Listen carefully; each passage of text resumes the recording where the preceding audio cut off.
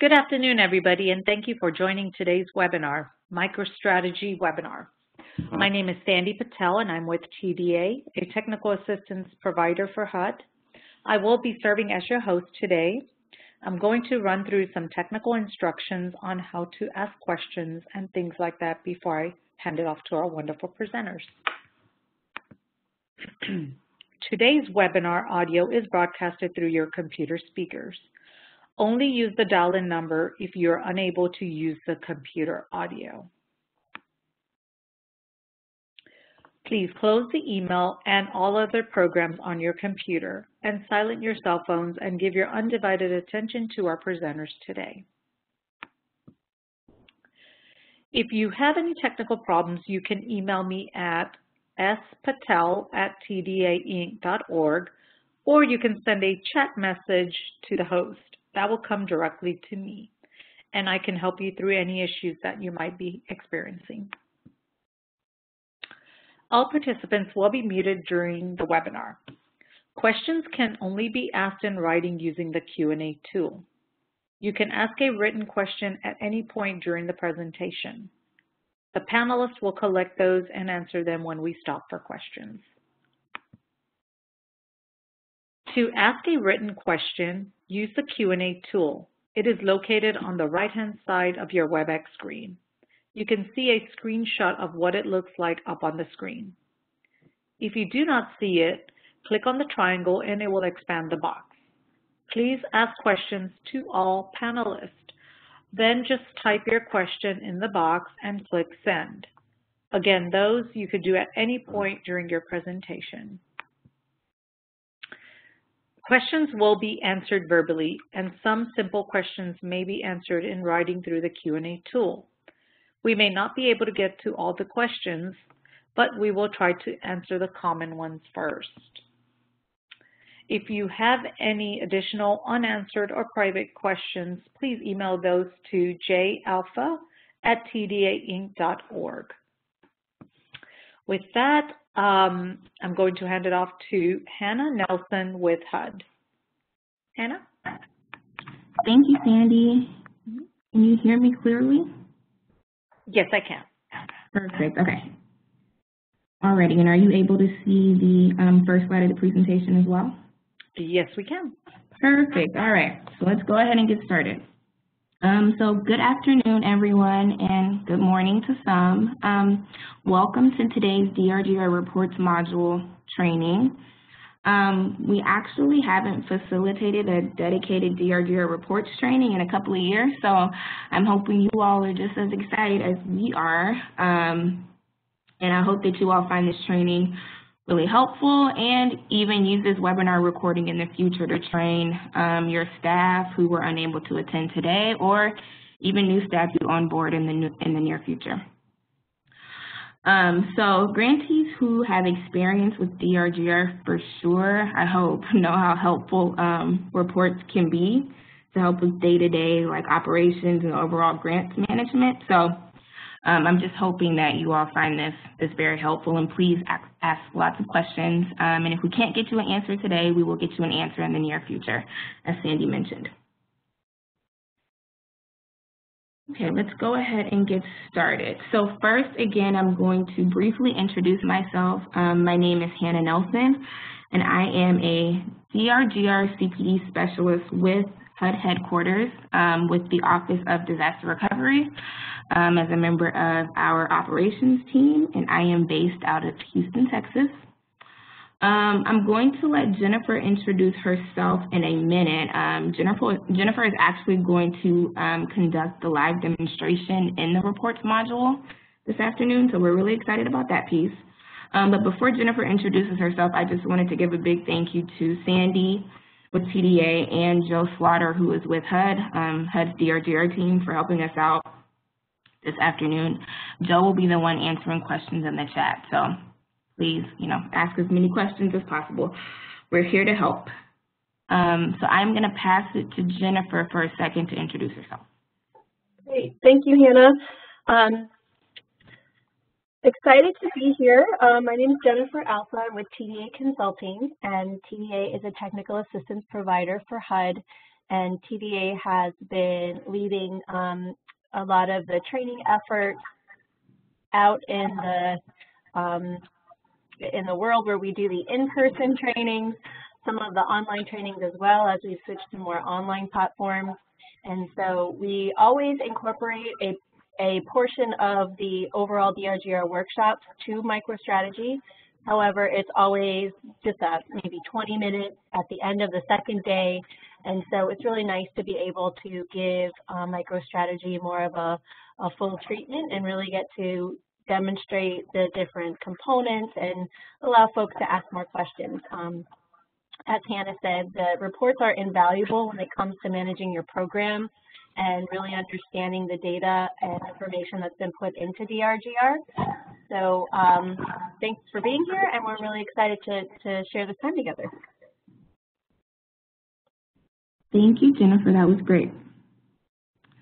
Okay, let's quickly go over some webinar objectives. Um, so as far as objectives for this training, um, we are going to focus on how you all as grantees can utilize these DRGR reports or MicroStrategy. Um, and basically utilize these reports to help you improve data accuracy and completeness, um, to troubleshoot any data errors potentially that come up, um, and then also help reduce the amount of time and effort necessary to comply with any reporting requirements.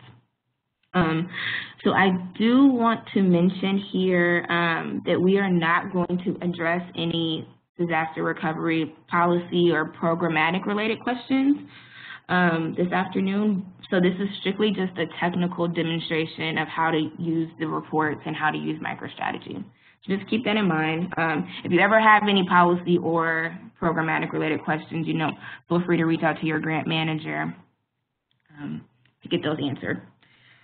Um, and then, so as far as the format for this webinar, so I'm going to first kick us off with going over a few slides here. Um, just bear with me. I know everyone's really excited, probably really excited about the live demonstration in the system. Um, and also I wanted to mention, please feel free, once we get to the portion of the live demonstration, please feel free if you're able, if you have two screens or um, are sitting in a room with a group, um, if you want to actually log into DRGR and follow along with Jennifer, I think that's also really helpful as well if you're able to do that. Um, but as far as the slides, I did just want to say um, I'm going to go through the slides pretty quickly, but I feel like it's always a good reference to use after this training and to share with staff who are not able to join. Um, and again, this training will be recorded and the training the slides will be available on the HUD Exchange in the next couple of weeks. And we'll send out a listserv announcement once those materials are available. Okay, so next we're going to quickly start with two poll questions, and Sandy's actually going to get those populated here. So if you guys can um, go ahead and answer those questions once you see the option available. Um, so the first poll question is, how much experience do you have with pulling MicroStrategy reports? And then the second question is, which category are you most interested in? Just to get an idea of the group um, as far as experience. I'm sorry. Um, so what I was saying is I don't have the BR2s booked. Is it okay if I still move the BR3s into that group? I believe you can. And then what I would recommend what I would recommend is get in touch with groups. Okay. Tell them that you have the allotment in BR2 but you do have individual bookings booked in BR3 that you would like to move into the groups. Okay. Into the group. Okay. Um, they will ask you the question, what's going to happen with the BR2 talents that you have within the group? Correct. If, if you end up not booking those, then technically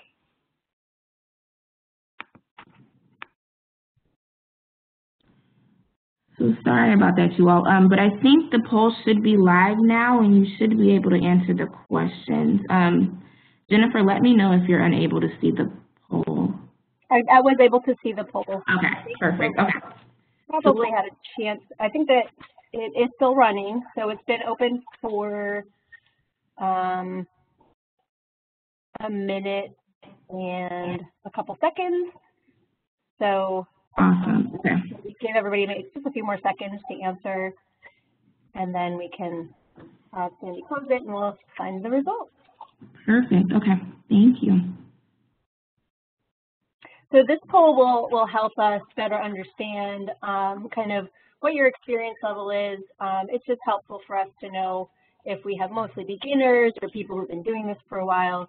And then knowing your reports category is just nice for us to kind of know what, what reports people think they'll use the most or are using the most. Um, we're not going to go through a full list of reports or anything like that, but we are going to, um, you know, show you where you can access those reports.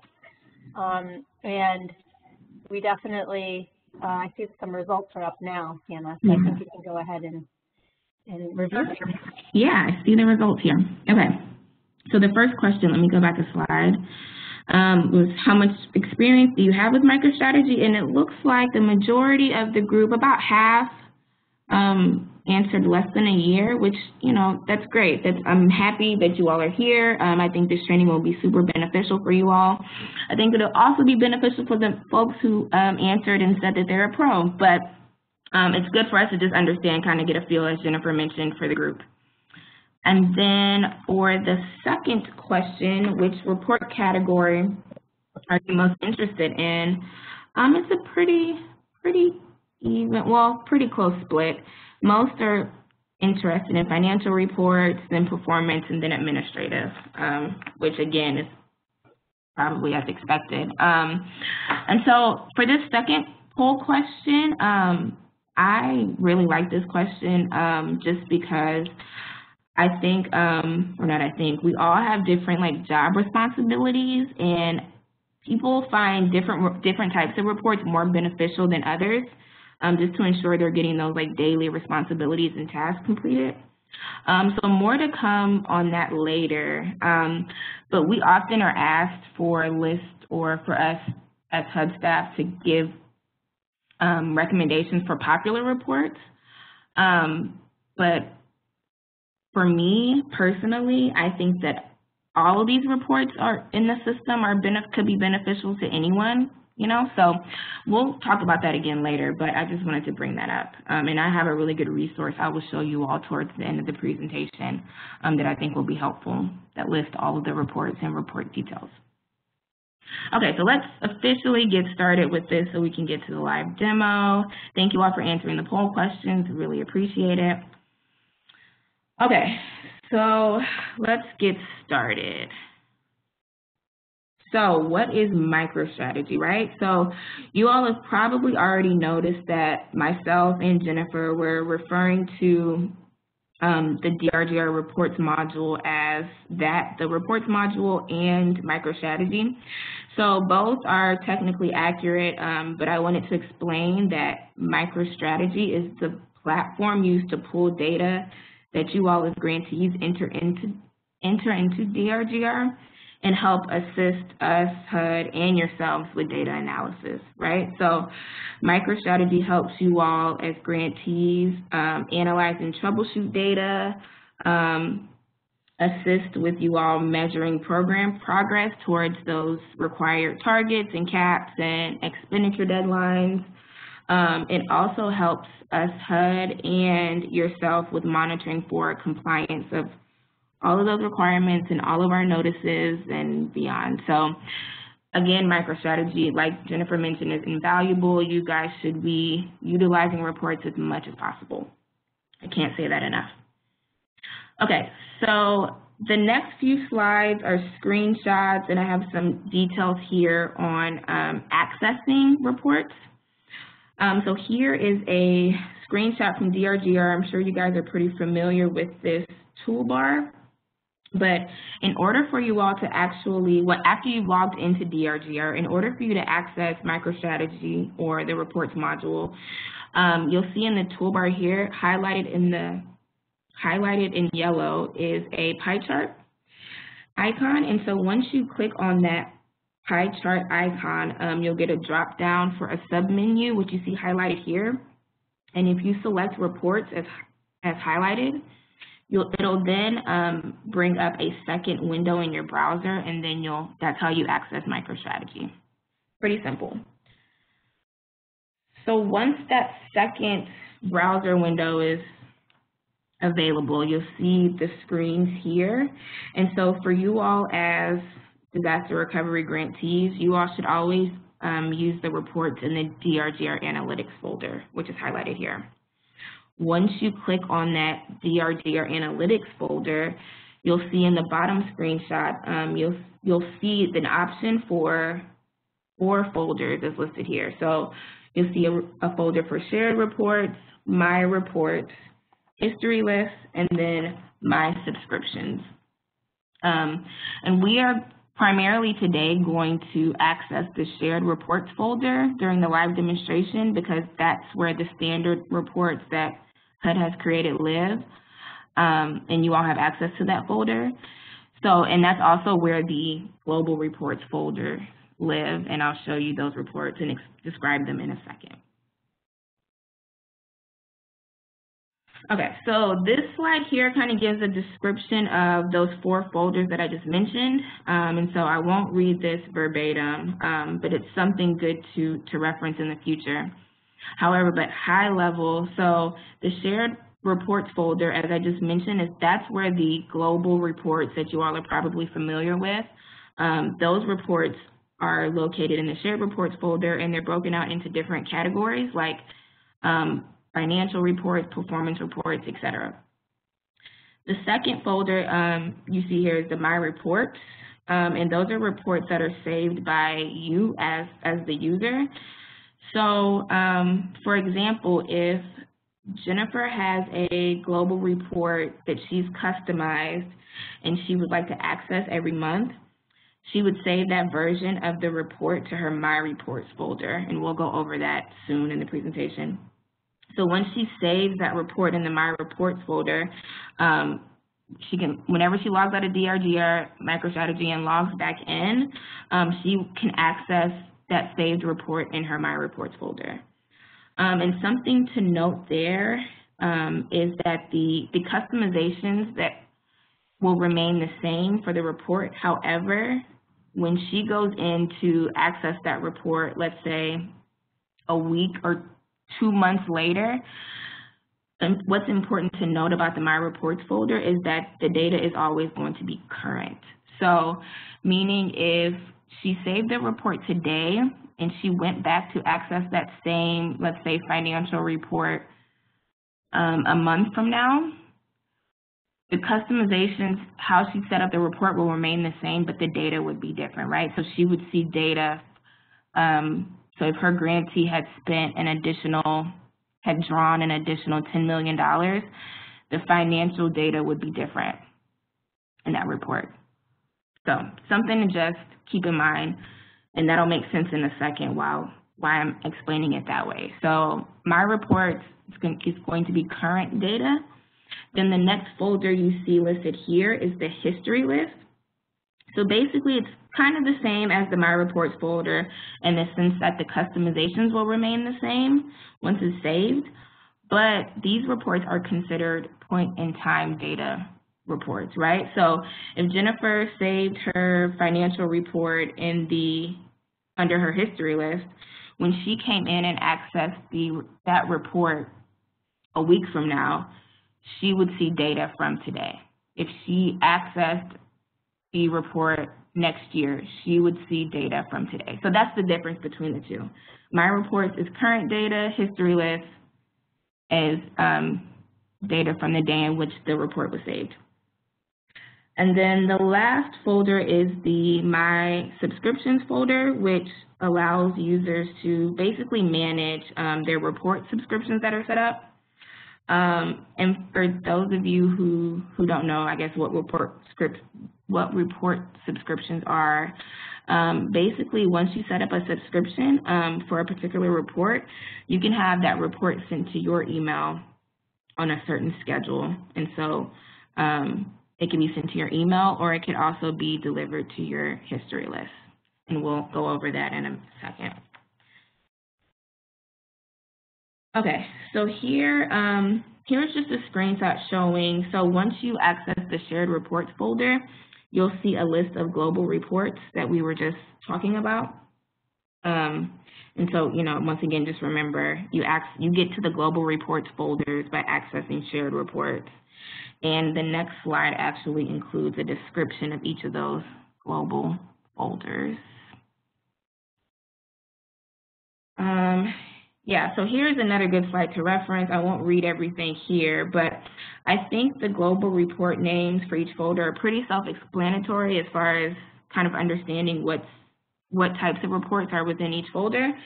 But um, global admin is where you can find helpful like user information or details on, you know, responsible organizations that you set up in the system, um, certifications, etc.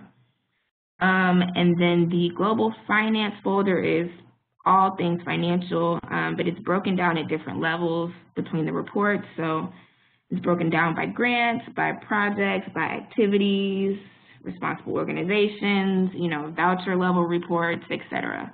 Um, so there's lots of good information in that folder. Um, then we have the global performance folder, which includes data on um, performance measures and accomplishments. So um, you'll see in there projected and planned and actual data entered at the grant and project and activity level. There, um, there's reports in there on addresses. So global performance is, is a good folder as well. Um, and then next we have global compliance. And so these are reports that show data um, related to system-generated flags in the system. Um, and then it also shows um, reports related to grantee entered events, which is um, where a grantee goes into the My Compliance module, Manage Compliance module, and enters in um, data on grantee level um, monitoring TA and audit events. Um, so if you all are not as familiar with the Manage My Compliance module, um, I would encourage you all to go and review the chapter in the DRGR user manual on the compliance module. Um, and also just go into that module and just search for different events and kind of play around in the system to kind of figure out what all is a part of the compliance module.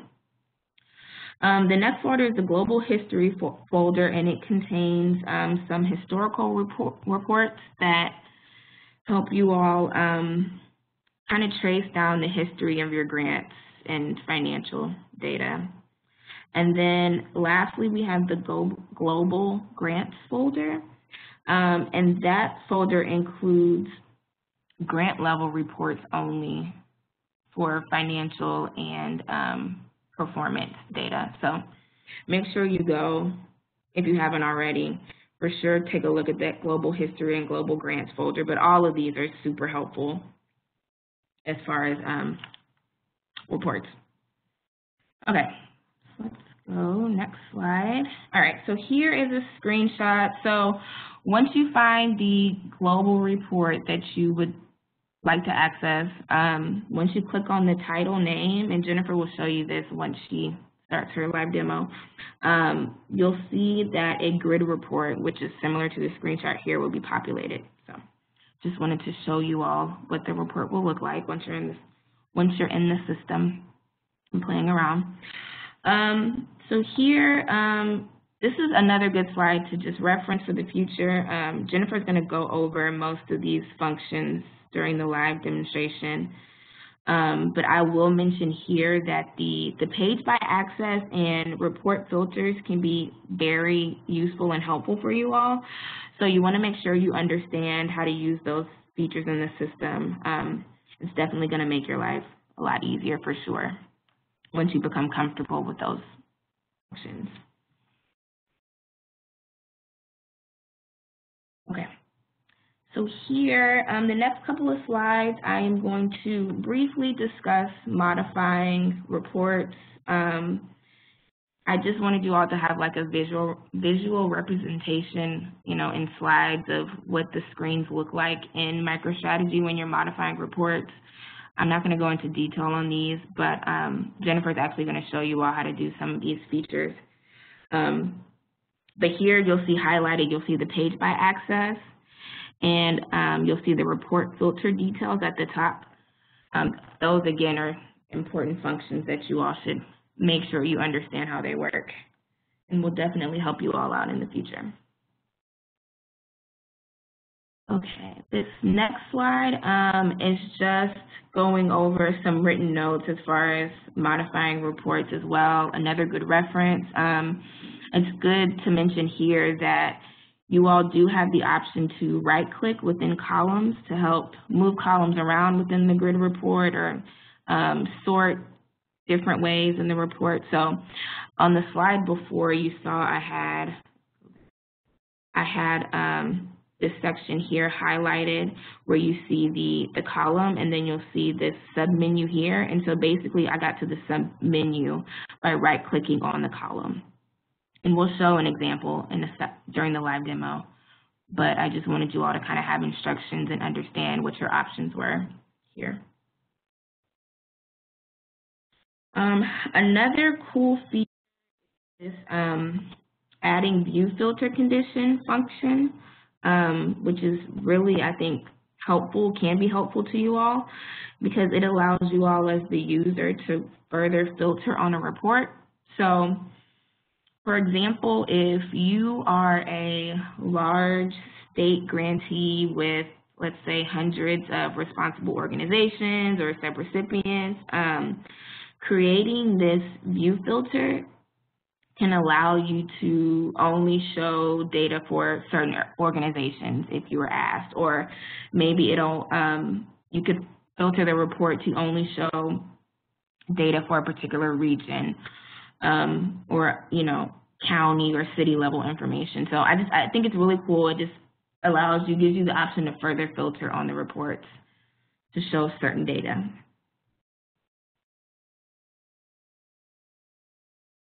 Okay, and here, um, here's a slide showing um, the downloading reports feature. So once you're done customizing your report or you just, you know, go in here and access a report and you want to download a copy, um, you have the option in the system to download the report into an Excel or PDF. And so you'll see in the toolbar here, we have the two icons highlighted where you can select Excel or PDF. Um, once you select that option, the screen will pop up below where it gives you the option to further format your reports. So, um, and Jennifer will go over this during the demo, but I just wanted to show you all where the icons were located. Um, you can also select report home, and there's a drop down for export, and then it's the same Excel or PDF option. But I just wanted to give you all a screen here showing how to do it. It's pretty simple once you get familiar with that. Okay, and so I'm going to wrap up here. The next couple of slides are related to um, saving to My Reports in the history list and setting up subscriptions. Um, they're all pretty pretty easy to do. It's just more so just understanding where you need to go and what information you should enter. Um, so the screenshot here shows how um, you access or how you can save to My Reports. And so you simply just click on Report Home in the toolbar, go to Save As, and then you'll get this pop-up screen here. And you'll see um, you can save into the My Reports folder. You can rename the report, add any sort of description here. And once you hit OK, the report is saved. And then pretty similar um, process for the, the history list. Um, so you go to report home and go to add to history list. And then you'll also have the option to rename the report and update the description. Like if you wanted to add what day you pulled the report or additional information, you could do that and then you would hit save. We'll, we'll go over this during the demo. Um, here um, is how you can subscribe to the history list. And so again, a lot of your saving and um, subscription related functions are, are located under that report home tab. Um, and so you'll see here, in order to subscribe to the history list, you would go down to subscribe to and then select history list. Um, you'll fill in the information you see listed here, name the report. Um, you see the schedule option here, and so you'll, you're able to set up different time or time frames as far as when you would like to receive the report, whether it be monthly, weekly, daily, you know, at a certain time. You have options listed here, and then you hit OK, and um, you should receive that version of the report into your history list on whatever schedule you've set up. And then same thing for the email subscriptions, except in this case, once you set it up, um, you will actually receive a copy of the report through your email and not through your history list. You wouldn't have to log into MicroStrategy to get that, that email notification. Okay, and so I am going to wrap us up here with the resources slide, um, and then we can get to the fun part with Jennifer going, starting her live demonstration. But I, you know, I wanted to include some resources here that I think would be helpful for you all. Um, I think the DRGR user manual is always a good place to start whenever you have DRGR questions. And Chapter 35 in particular is specific to the reports module and has really good screenshots and step-by-step -step instructions included in that chapter um, describing in further detail what I just dis discussed and what Jennifer is planning to discuss in a few minutes. Um, and also, like I mentioned earlier, um, so our team is constantly being asked, you know, like which reports are popular and most used. Um, and like I said, I, I don't think there are in particular popular reports or even like most used reports. I, I think each report in the global folders can be helpful to any of us to complete, you know, whatever work we need to. So I wanted to, I, I included here a DRGR reports crosswalk, which is available on the HUD Exchange. And this document is very helpful. It's very detailed, um, but it actually includes details for each of our global reports, and it shows you which metrics and attributes and data fields are included in those particular reports. So um, I think this document is, is always good to start with if you're wondering, if, you, if you've been asked to pull certain data and you're not sure where to start, I would always start with this, start by referencing this, this crosswalk because um, it'll help you figure out kind of which data is included in which reports and where to start. So I'm not sure. I may ask Jennifer to pull it up when she shares her screen. I don't I don't know if the link will work right here. But um, I did just want to make sure you all were aware that the crosswalk was out there. Um, I actually think we are going to update it very soon. Um, but still, it's still a good place to start for you all.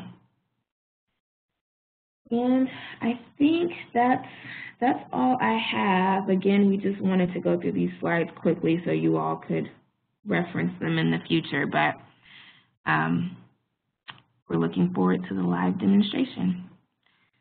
So Jennifer, I'm going to pass it over to you. I think I need to make you the presenter.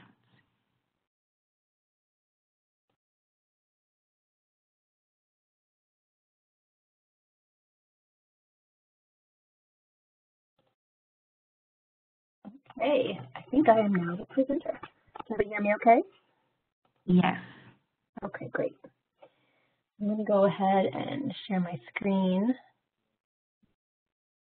And tell me if what you see is Google.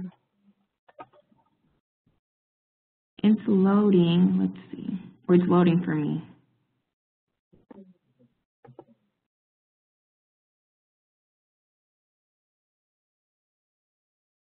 I see it now, Jennifer.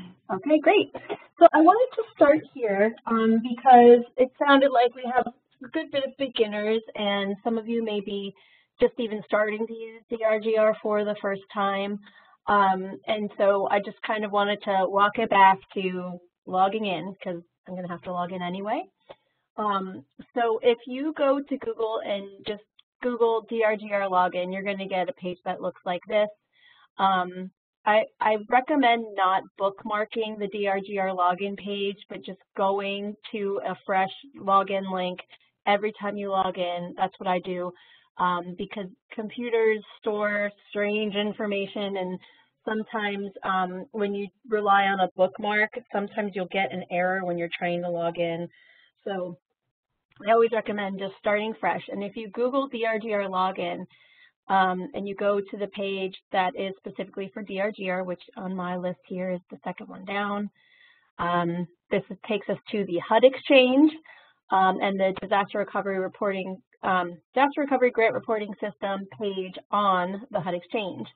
And this page has a lot of information. Um, so for those of you who are beginners, there is a wealth of knowledge here on this page. Um, I love for folks to be able to go and check this out. You have things like your guides, tools, and webinars. This webinar will show up on this page um, in probably a week or so once we get um, the, the transcripts back.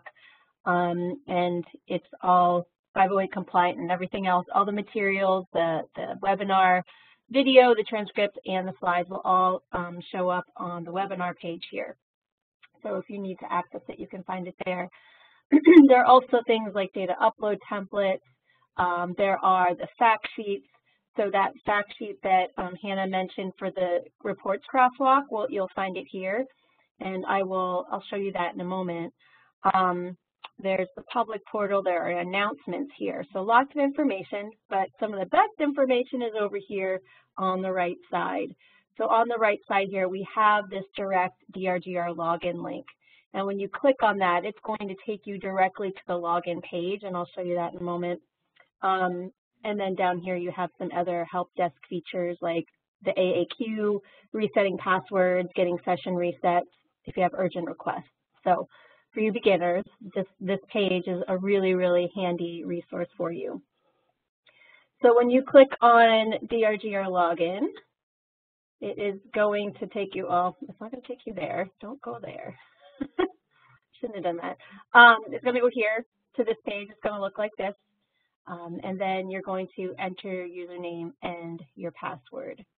Um, before I log in, because once I log in, I have to you know, remember to stay active and all of that, and I'll, I'll, talk about that in a moment. But before I log in, I'm going to show you that fact sheet crosswalk that Hannah mentioned. Um, and I think this is the one you're talking about, right, Hannah? Yes, this is it. Okay. So again, if you are back here on the, the DRGR page from the HUD Exchange, if you just go down to this um, fact sheet section, click on that. This is under release 8.0. Um, you can see that up here in the title. So for release 8.0, this fact sheet was um, included. And you can see here um, a lot of information about navigating. Um, and then there is this crosswalk. And this crosswalk is great, especially for those of you who have been around for a little bit. So you pros out there who are really familiar with DRGR and MicroStrategy, um, but maybe you know are used to using those the, the folder in MicroStrategy called DRGR OLAP. We'll talk about that when we log in. But those are the, the old the old version of the reports, and we really want you to be using DRGR Analytics, which is the, the more updated version of reports, so you have um, the most current and best data. But some of you may remember those old legacy report names, and you know those are burned into your brain. and so you remember Financial Report 7, and you're you need to know what is it called now in analytics. Well, now it's called um, F67, Financial Report 67. So this is a like a nice little crosswalk um, that just shows you the old name and the new name. It also gives you the you know the full list of reports here with you can easily run through this list and see okay here are all the performance reports. Which of these reports could be helpful to me? Um, so that's helpful too. And then um, this also has um, some of the tips that we'll go over today with respect to formatting reports and, you know, things like that. Um, this chart down here, it gives you the, the report name, the legacy name, and then the different attributes of the report. So what would be included in the report. So for, let's say, we want to look at let's say we want to look at, we'll just take this first one here, responsible organizations, A12.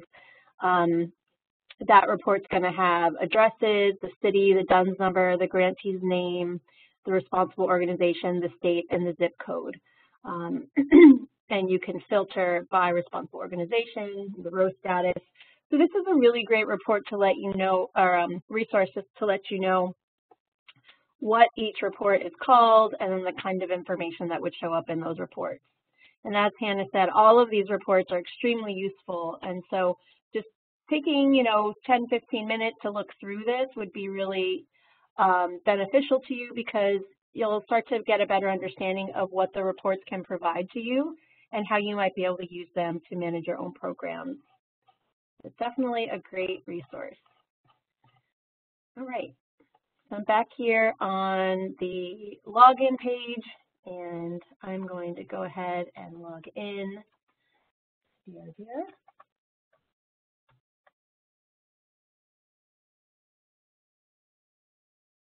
When you go to log into DRGR, you should always, you know, look over these rules that you are agreeing to by clicking on this box and then click login.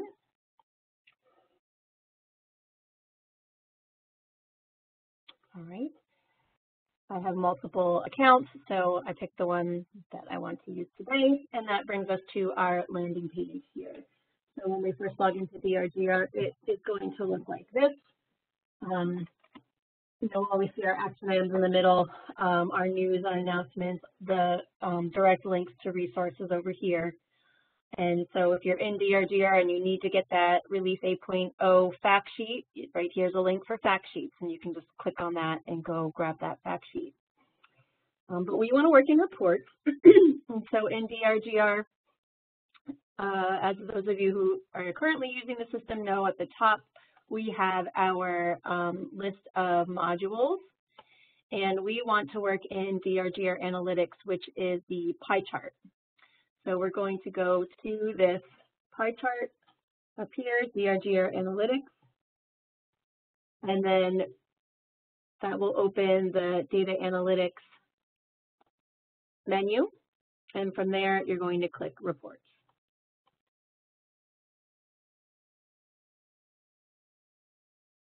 Now, once you click on reports, it's actually going to open a new browser tab. So as you can see, here's my DRGR browser tab, and here is my MicroStrategy browser tab. They are separate. Um, and DRGR requires you to be active in the system at least once every 20 minutes, or it will log you out. So just keep that in mind, because reports can be uh, a pretty fun place to be, honestly. And so you end up spending a lot of time over there sort of investigating um, different reports, pulling information. And as you're doing that, um, you can kind of lose track of time. And so when you're in MicroStrategy, just remember to come over here and, you know, kind of just bounce around, make sure, you know, you're doing something to keep the system active so that you don't log yourself out. Um, that's just a, a, little pro tip um, to make sure you, you don't accidentally log yourself out of DRGR, because uh, if you do, you'll have to wait about 20 to 30 minutes to log back in.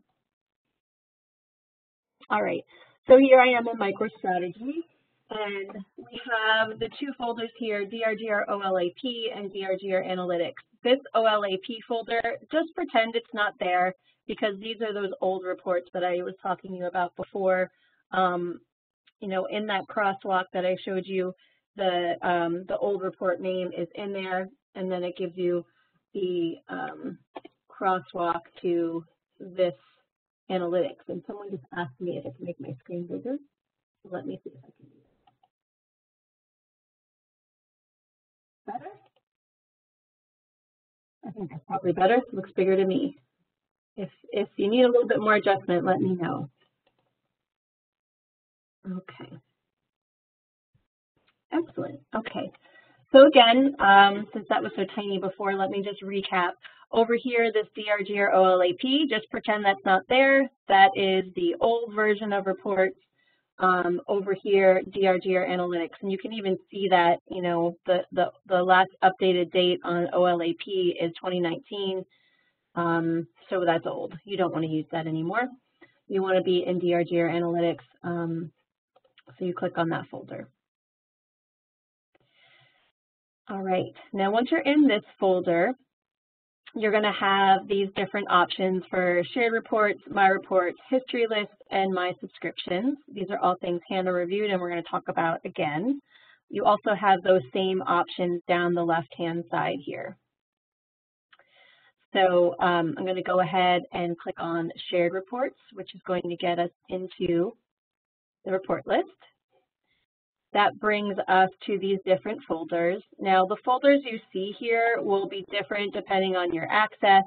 Um, so I have a HUD view only access, so I'm seeing some you know, additional reports that you might not see, but um, you will you will definitely see the admin, finance, history, compliance, grants, and performance, well, compliance and performance reports for sure. Um, you'll see those. And again, uh, if you review that crosswalk, you'll get a sense of the different types of reports in each of these folders. But I think, as Hannah said, it's pretty self-explanatory. Admin is going to be anything related to things like users, responsible organizations. Finance is obviously draws, program income, obligations, budgets, um, that sort of thing. And then your global performance is things like outcomes. So, you know, how many beneficiaries, race, ethnicity of those beneficiaries, income levels, um, those types of things. So let's just go ahead into global finance, since a lot of you said, I think that was the, the highest the highest count were folks who said, I want to know more about finance reports. So we'll go in here.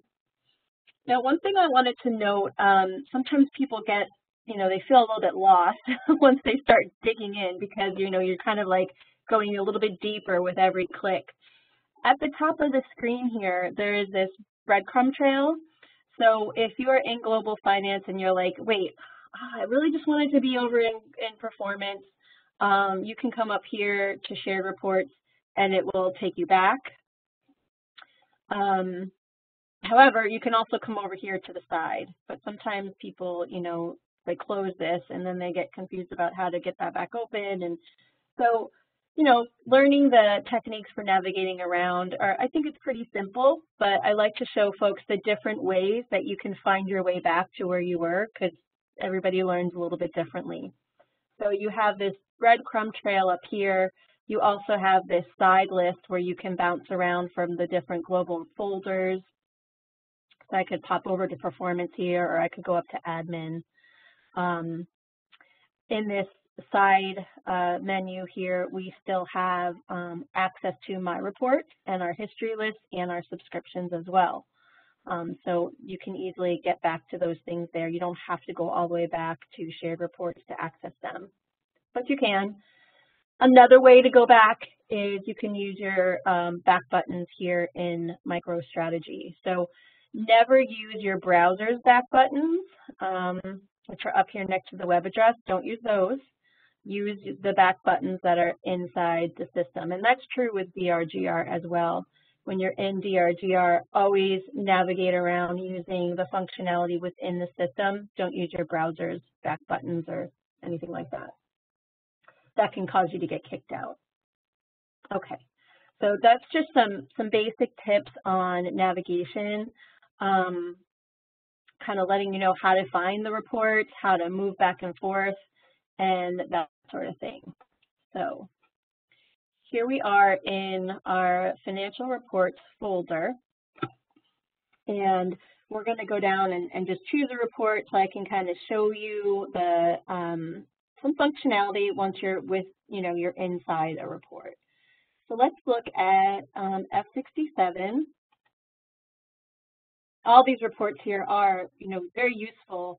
I tend to pull F67 pretty often. It's just a report that I like. I like the way it's set up. Um, I like the information that it gives. Uh, but, you know, there are lots of other reports that have information that could be useful to you depending on your, your, your role in your organization, like Hannah said. You know, we're all doing different things in the system. So the report that we need may be different than the report that our colleague needs. Um, this just happens to be one that I end up pulling pretty frequently a little bit slow right now, but um, probably, so my, my access is HUD view only access, so I have access to view every grant, um, so sometimes it takes a little bit longer to load. Uh, it shouldn't take this long for, for your information to load. But as you can see, even as this is loading, we have some functionality down here at the bottom of the screen. Um, we can cancel it if it's loading now, but you can also add it to your history list right from this screen, which is um, really nice. Throughout MicroStrategy and throughout DRGR, there are always, for almost every function, not every function, but many, there are different ways to get to where you want to be. Um, so it's become a very user-friendly system um, where, you know, you have the options to go back and move about DRGR and MicroStrategy from different points of the system. You don't always have to start at the beginning. okay, here we go. So I made it in. So I'm in this report. Um, up here um, up at the top, let's just do a little bit more navigation discussion, and we will um, then go into the report, and I'll show you a little bit about modifying the report itself. So up here we have our different menu options. Um, under this menu option, we have some options to add to history list, which we're going to talk about in a little bit. Um, we can subscribe here, we can export here, we can print here as well. Um, so these, you know, these options are, could be useful to you. There is also a tools option, um, which gives you some other um, ways to customize the view that you have on the page. We have the data link, which allows us to do some of the, you know, the, the sorting and um, renaming, swapping rows, columns, things like that. And then there's the grid where you can kind of change the view and then the format here. Um, so you can see um, how you can look at the report in different ways. So I tend to just use these um, icons the most, I'd say. So if you hover over these icons, you can see, you know, this shows me the grid view. If the data is able to be graphed, there are options for graphing here. Um, you can see it as a grid and a graph if that's an available option. You can add it to your history list from here. So now we've now seen three different ways we can add this report to our history list, right? As it was loading, we could have clicked that link. We can go up here under report home and we can add to our history list from here or we can click here and add it from here as well. So there are multiple ways to add it to your history list and we'll talk about that more in a minute. you can create a personal view for this page. Um, you can share this report. Then you can print it. Um, you can schedule a delivery to your history list. This is what Hannah was talking about with, um, you know, setting it up so that it goes to your history list like a subscription. Um, and then this is to export into an Excel file, and this is to export into a PDF. And so you, the, people sometimes get confused between these two, I think because they're small, but just keep in mind to ex export um, into an Excel file, it's going to look like a little table. So you have that little grid-like format there. To export into a PDF, it looks more like the Adobe sign. So just an easy way to keep in mind. When the screen's a lot smaller, sometimes it's harder to tell the difference. Um, but you can use these icons to do the export, and they're right there. Um, and I'll show you the export more in a moment. But if you do, if you prefer to use the menu option and you go up to report home and you do export from there, there is a PDF and Excel and then these other formatting options here as well. so different ways to get to the same result. And I'll show you um, what it looks like when you actually do the export in a moment, but let's just finish the navigation discussion. All right, and then down here on the, the right-hand side of your screen, you have the list of all of the, the um, financial reports that are in the financial reports folder. So again, you can always use this breadcrumb trail to go back to global finance here if you wanted to find a different report. But you can also just scroll down the side here and say you picked F67, but you're like, oh wait, doesn't actually give me what I want. I really wanted, you know, F62 and you want to go back up there. So you can easily just, um, you know, move about the reports. and then it would take you over here um, to the new report. Um, so again, we've got, you know, the option to add things down here. Pretty handy. So I'm going to just go back to the Global Finance folder because I don't really need that report to load. And I'm going to go back to um, the report that I wanted to work in. Joseph, have there been any questions coming in that we um, that would might be beneficial for the group to hear sort of an answer to? Not yet. I just took over in the Q&A. Um, but no, to answer your question, not yet. But maybe towards the end we may have something. Okay, great.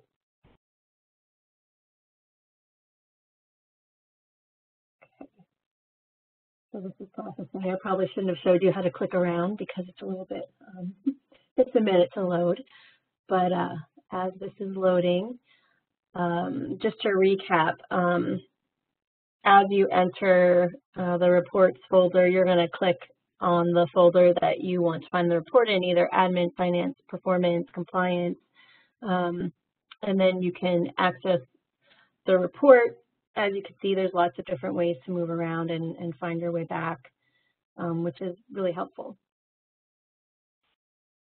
So we've been talking about access and navigation. Um, so once this report loads, I'm going to go in and I'm going to show you some different ways to customize the report.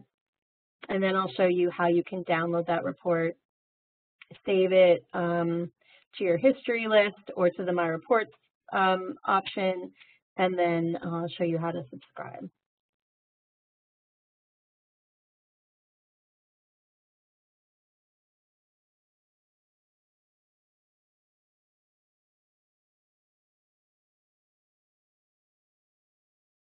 You can even see here on the screen, usually, um, it's you know, it's usually a little faster so I don't spend as much time looking at this screen, but you can even see here on the screen that it gives you the old report name.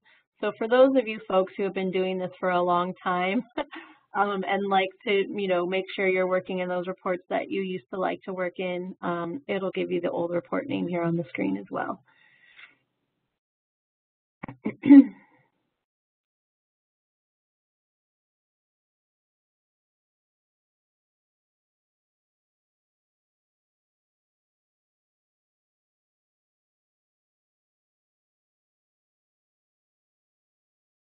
Me give it another minute or so, and if this continues to stall, um, I'll go back and maybe try to pick something that's a little bit uh, a smaller report.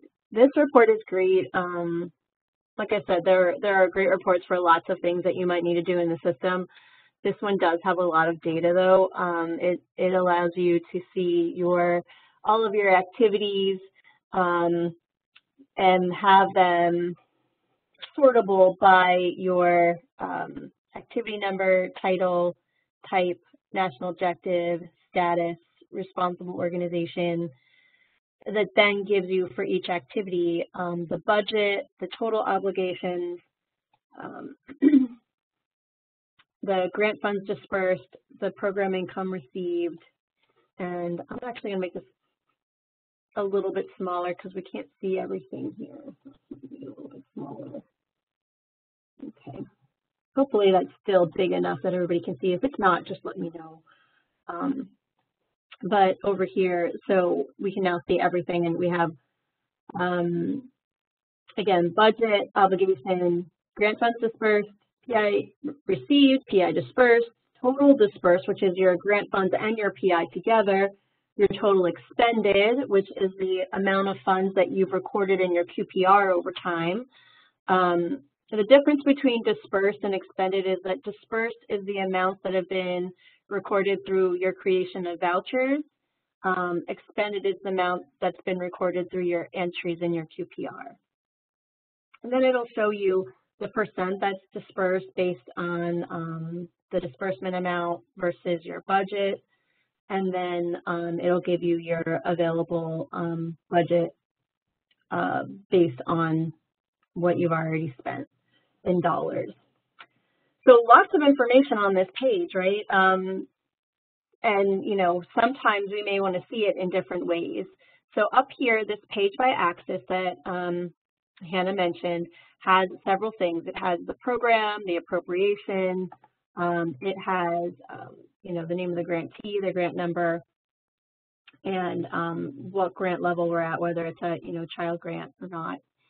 And so up here, you know, as Hannah said, if you have multiple grants, if you want to switch to a different grant, you can click on that and then choose a different grant for the same grantee. So as, you know, you, you're logging in for your organization, you're going to be the only grantee that you can see information for, but you might have multiple grants, right? So maybe you have had many disasters in your community, and so you might have, you know, several grants listed just like this, and so you can choose which grant you want to view information for. And just remember that, this is an option because you may log in and think you're looking at one grant when you're really looking at another.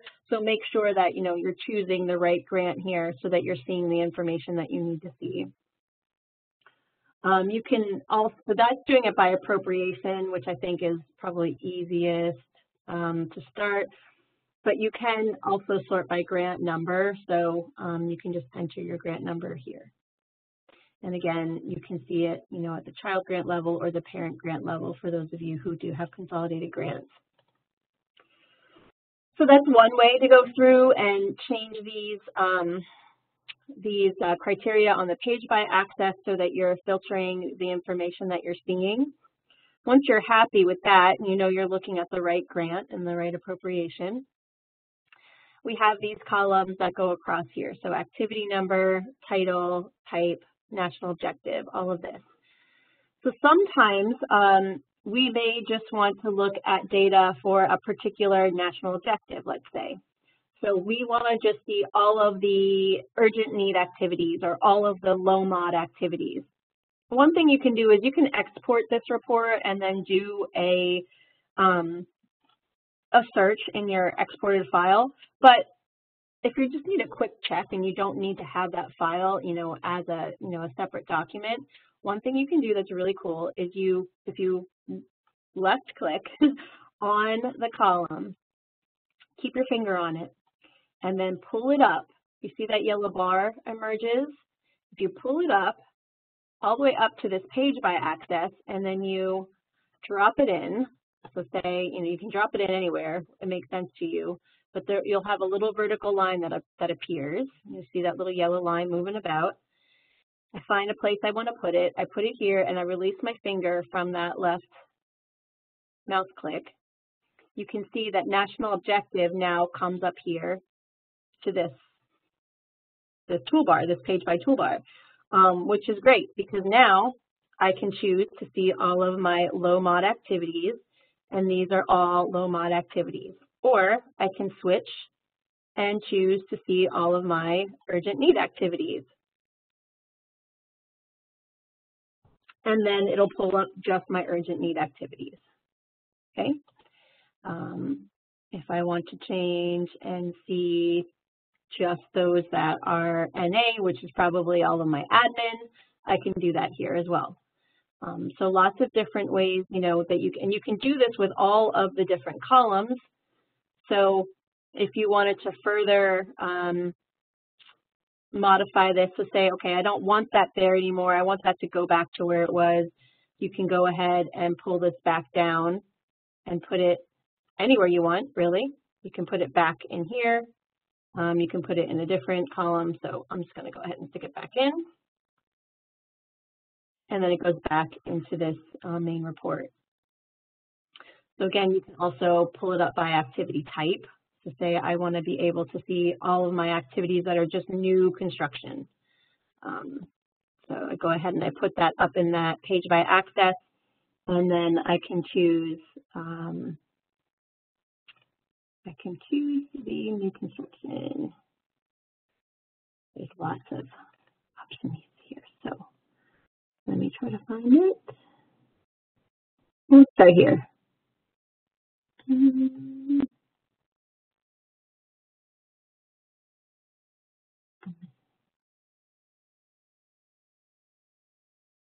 it is, construction of new housing. And now you can see all these activities are just construction of new housing. So a lot of different ways, you know, um, now these are all low mod, but say you had some urgent need in here. If you then wanted to pull it up, um, you could filter it then just by the national objective. But let's say we also want to filter by um, responsible responsible organization. So now we've sorted this so that all of these are new construction. If we then wanted to just sort by responsible organization, we could, again, you left click, keep your finger on it, pull it up until that yellow bar is where you want it to be, release it. And now we can sort also by the responsible organization. Um, and so these are different ways uh, for you to be able to, you know, move things around and better filter for what you want to see. Okay, and again, any of these columns you can do that with, so that's just a good thing to know. Um, so something else you can do is move um, move things from the page by axis bar back down here. If you if you for some reason wanted to add this as a field, you could go ahead and move this down, and then the appropriation would appear in this column as well. Those are just some different ways that you can modify these reports to make them custom to what you want them to be. All right, now let's say, um, I'm going to move that back up. Let's say I want my, um, I want the activity type to be something that I sort by. Put that back up there. Now let's say I love the way this report is set up. This is the kind of report I always want to be able to see when I go into DRGR. So you can then um, save this as um, one of your um, My Report options. So if you go to the report home and then go to Save As,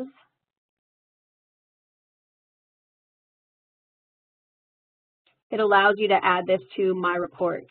Now, when you add it to My Reports, it is adding it in exactly the format that you have structured it. So when you go into My Reports, you're always going to see it just as you have it set up right now with the columns in the places where you put them.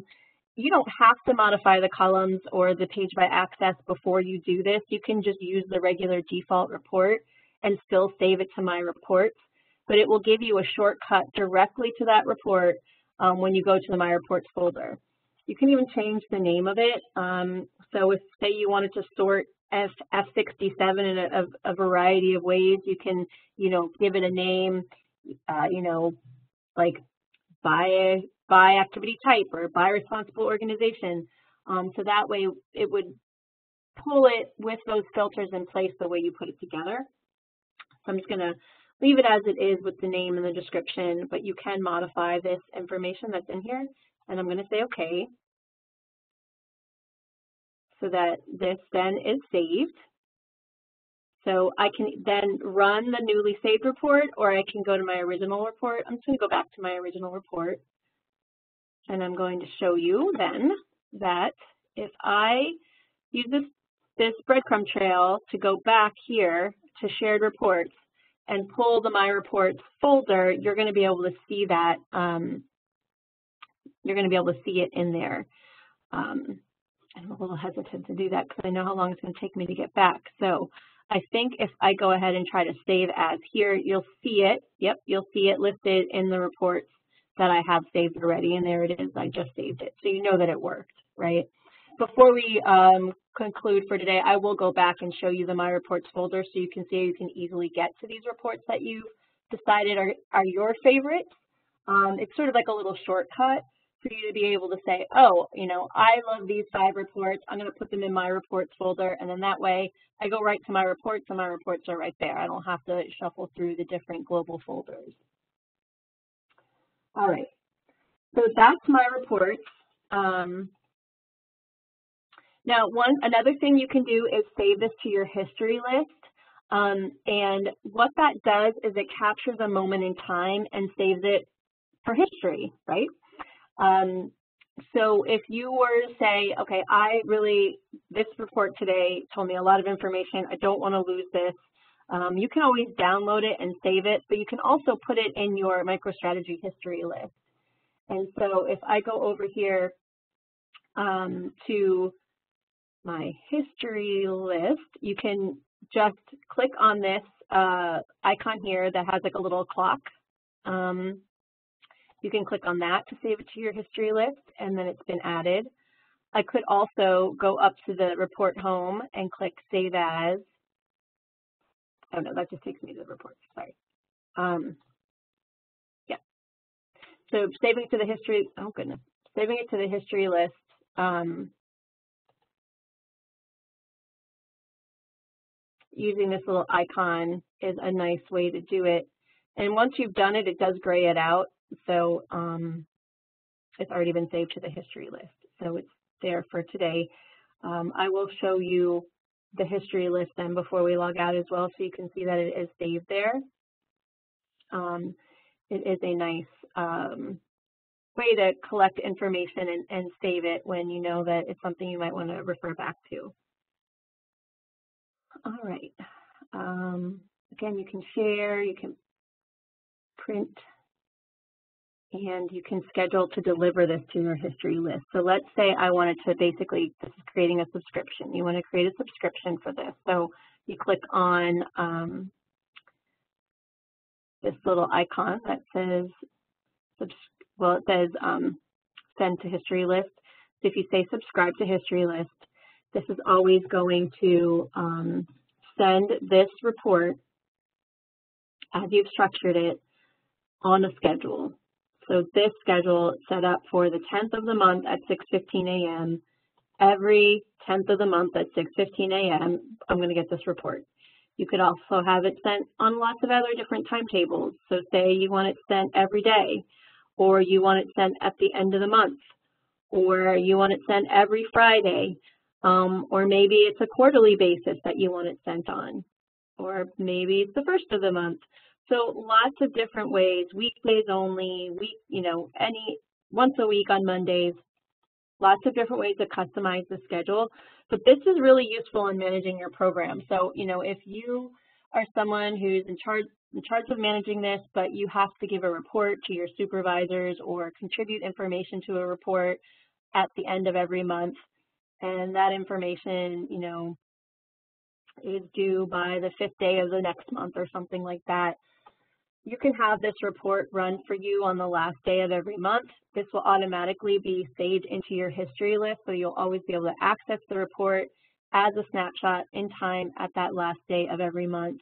Um, and then you can go back to reference it and use that information to pull that, you know, pull that data together that you need. Um, it's also just a way for you to, you know, always have a snapshot in time that's being um, saved for you automatically without you really having to think about it. So this is like a great a great way to do it. And if I say go, I go ahead and say, okay, I want it delivered on the 10th of the month. My subscription was successfully created. All right.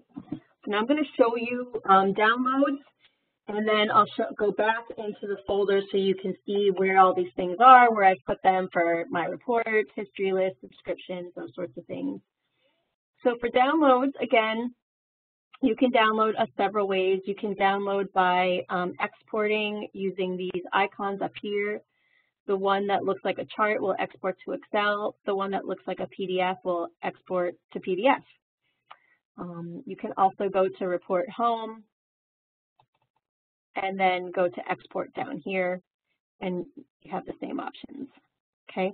You can also subscribe over here by doing uh, the subscription here, and you can subscribe to your history list. Um, so those are different ways to get to the, you know, the same things that you can get to by just using these icons up here. So if you're an icon person or a menu person, you have options. Um, so let's just look, I, I often um, download as Excel because it gives you the option to um, modify the data in an Excel file. Some folks like to use the data in different ways, merge it into other reports that they have and things like that.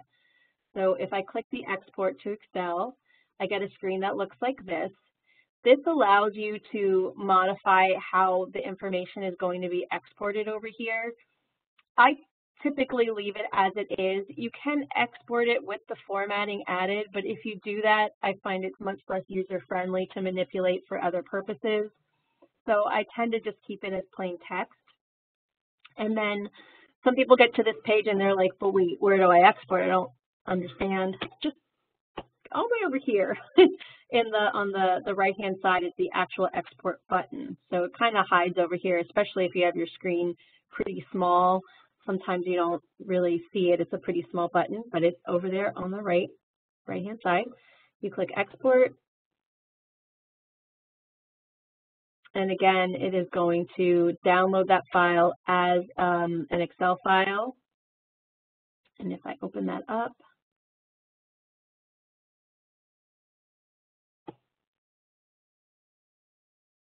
take just a moment to load. And then I'll pull it back over and I'll, show you what that looks like. So as you can see here, you know, it's opening new tabs for me. So again, if you were, you know, working in DRGR, you want to keep popping over your DRGR chat tab to um, make sure, see it's asking me um, if I am, if I want more time. Yes, I want more time. So make sure you're always popping over to DRGR, make sure you're active. Okay, so I'm going to pull my uh, report over here so you can see what it looks like.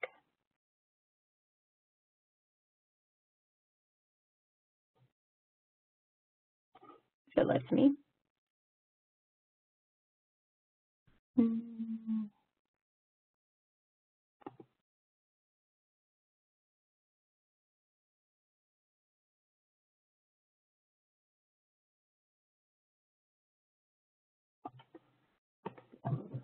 I'll let that work and then I'll pull it over when it opens finally.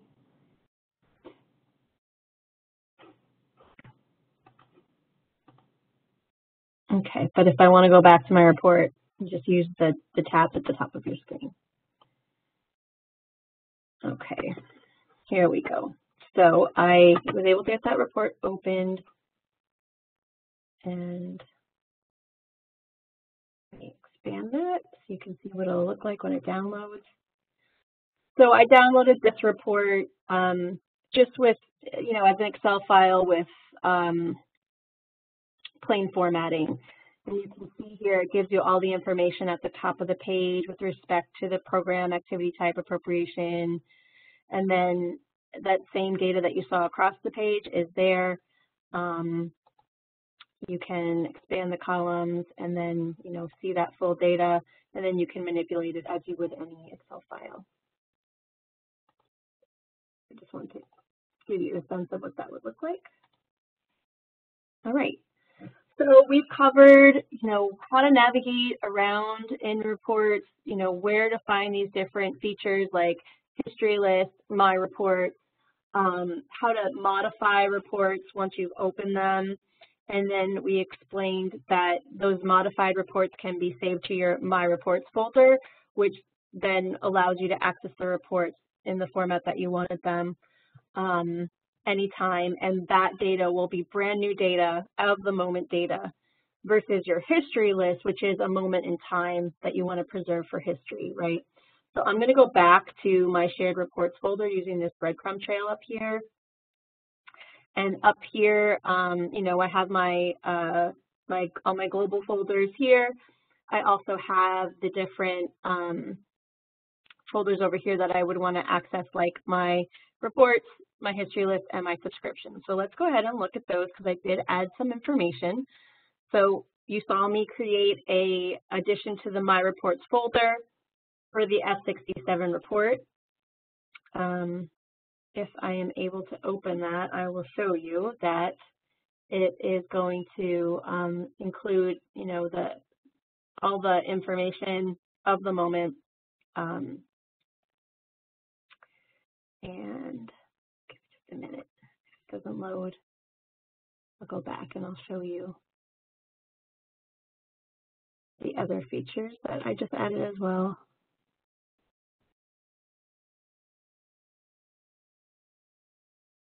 So this is pulling the data that's in DRGR currently from my reports. Um, I'm just going to go back. so as you can see, this is just one report, but there may be others that you use frequently and you want to store here and you want to store them in that format that you've customized and that's what will happen if you add them to my reports, okay? That's my reports.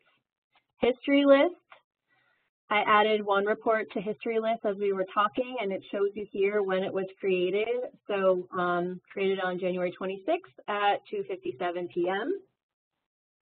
It also allows me to um, export this report right from here. Um, you don't even have to open it, so that's helpful.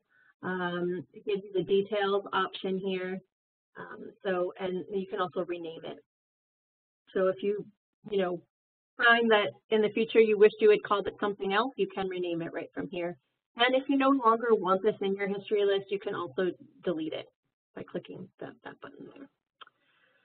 All right. So that's the history list. Again, remember this is a moment in time. It is historical information versus my reports, which pulls a fresh report with fresh data every time. And then finally, my subscriptions. Um, I set up a, a subscription here.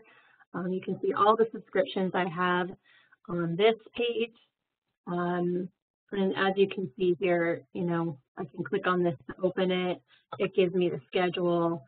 Um, this um, action column allows me to edit some of this, and then I can always unsubscribe if I don't want this anymore. Okay, I think that covers all the components that we wanted to cover. Hannah, is there anything else you wanted me to show folks? No, I think that was really helpful. Um, you know what, Jennifer, actually, if you could, could you pull up the crosswalk one more time? Mm -hmm. And I think that's a good way to end um, because I've been answering some questions and nothing I want to read out loud, but I've gotten some specific questions about what's in what reports, and so I mm-hmm. think showing this crosswalk again will be really helpful. I think this is a good place to always start if you have any questions. Um, and if this is not helpful for some reason, um, you could always reach out, you know, go into MicroStrategy and look at the different reports or reach out to your grant manager if you had any questions, per se. Mm-hmm. Um, we also had, I had a couple of people reach out with um, some issues they have in the system, so we're going to do some one-on-one -on -one kind of TA with people. But um, no, I think I think this has been really helpful. Um, we'll give everyone a minute or two to see if we get any last questions. But, um, so for the person who was asking like what's in what report, this crosswalk gives you exactly what's in every report, right? So if I go down, so I was demonstrating for you F67 and you saw that on the screen. Um, but if I go down to F67 in this crosswalk, it's showing me, um, so here's F67, make this a little bit bigger.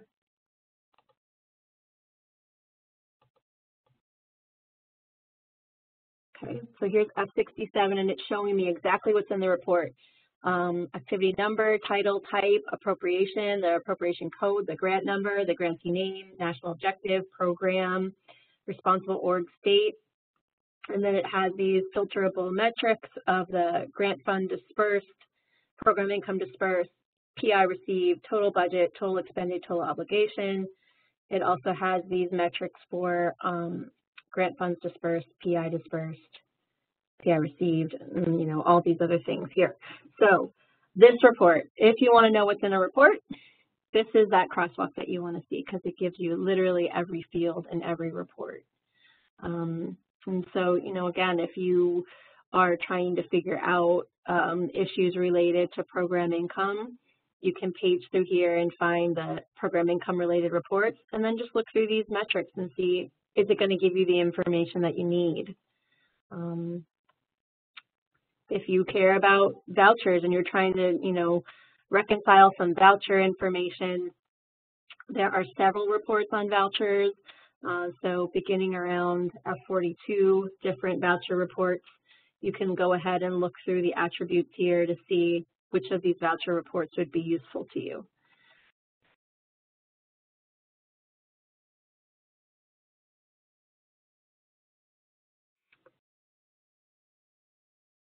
Anything else, Hannah?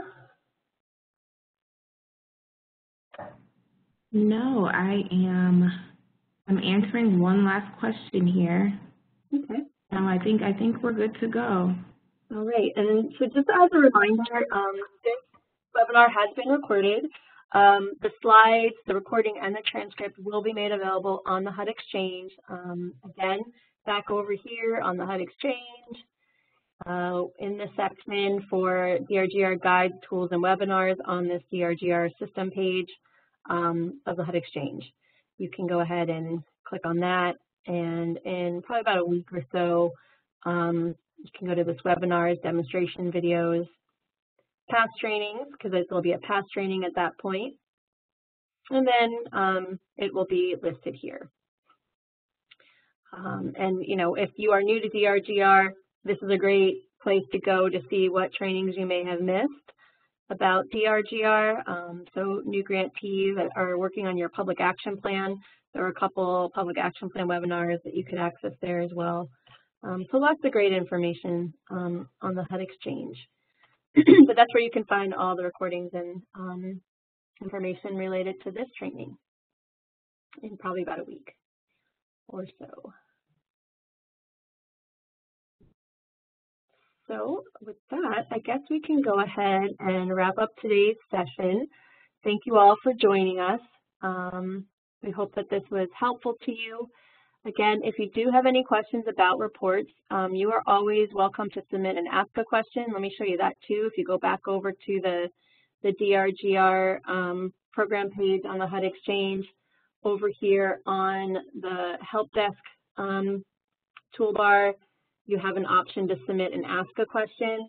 You can always send a question in if you're having trouble with reports, um, either making it do what you want it to do or if the data doesn't quite look like what you expected, uh, you can always submit a question and we can try to walk you through um, understanding what's wrong or if maybe there is something wrong, um, getting that information fixed. So any questions in the future, feel free to reach out that way. Um, but we hope this has been helpful and we hope you have a great rest of your day. Yes, thank you everyone. Thanks, Jennifer. Thanks, Hannah.